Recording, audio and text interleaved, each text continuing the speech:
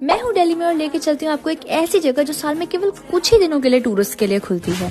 Official residence of Rashtrapati of India Rashtrapati Bhavan का एक काफ़ी बड़ा पार्ट जिसे पहले मुगल गार्डन और अब अमृत उद्यान के नाम से जाना जाता है, साल में जनवरी से मार्च के बीच में टूरिस्ट के लिए खुलता है। और यहाँ विज़िट करने की कोई टिकट नहीं लगती इट्स एब्सोल्युटली फॉर फ्री इस 15 एकड़ में फैले गार्डन में लगभग 85 अलग अलग टाइप के फ्लावर्स आपको देखने को मिलेंगे, जिसमें से आठ डिफरेंट टाइप्स ऑफ़ ट्यूलिप्स और 120 डिफरेंट टाइप्स ऑफ़ रोजेस भी आपको देखने को मिलेंगे।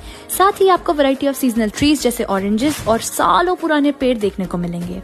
Avoid visiting this place on weekends क्योंकि बहुत ज़्यादा रश होता है। मंडेज आर क्लोज विज़िट करने से पहले इनकी वेबसाइट पर जाके आपको अपने लिए एक सुटेबल स्लॉट बुक करना होगा। Last date for tourist to visit this place is twenty March do plan your visit इससे पहले ये अगले साल तक के लिए बंद हो जाए। If you found this reel helpful do share it with your friends check out the caption for